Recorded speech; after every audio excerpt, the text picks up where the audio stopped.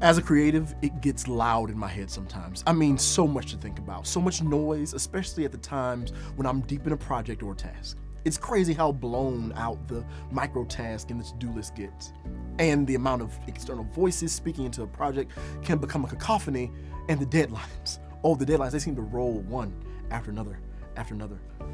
But the biggest hurdle, the seemingly unescapable wall many times, are our own thoughts, our criticisms, our fears. And that's what gets tiring. Then I remember, eventually, I remember I signed up for this.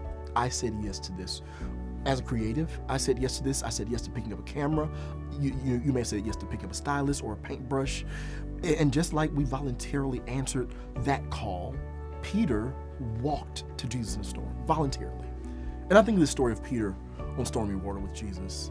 It, it has a few things in common with us and the loud brainstorms that we deal with. Jesus works the miracle of the loaves and fishes, and then goes off to pray and be alone. Early the next morning, Jesus sees the boat, the disciples, and they're drifting on the sea, and he walks out to them. You know, we really take these miracles that Jesus worked way too lightly. Like Jesus, literally our guy, Jesus, casually feeds a small town, then goes and takes a nap. Then he wakes up and walks on water. Who wouldn't serve a God like this? Like who? Okay, okay, listen.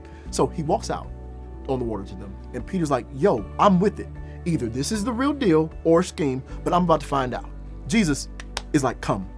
And Peter's with it. Peter, Peter comes out until he has to act in his yes. And once he puts action behind his vocal words, his inner voice starts getting to him. He's walking towards Jesus and he gets distracted. How dare we get distracted by the elements that come when we're in a storm? How dare we get distracted by the elements that come along life's journey or our creative journey? That's not how this works. This Christian walk is not some elixir that magically makes everything easy in life. However, it makes it easier. Our strength is found in the joy of the Lord. Our confidence is found in His promises. Our benefit of a relationship with Christ, besides eternal life, is the Holy Spirit that makes difficulties more palatable and makes the hard times more navigable. His promises to never leave us or forsake us, and that He'll always give us a way out. The key is just to get over ourselves.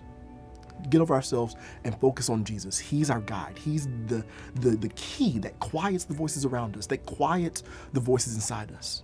The negative thoughts that exalt themselves and drive everything away from the knowledge of Christ as our Savior. He is the key to that. And if you can do that, if you can focus, if you can hone in, you can hear God in the hustle.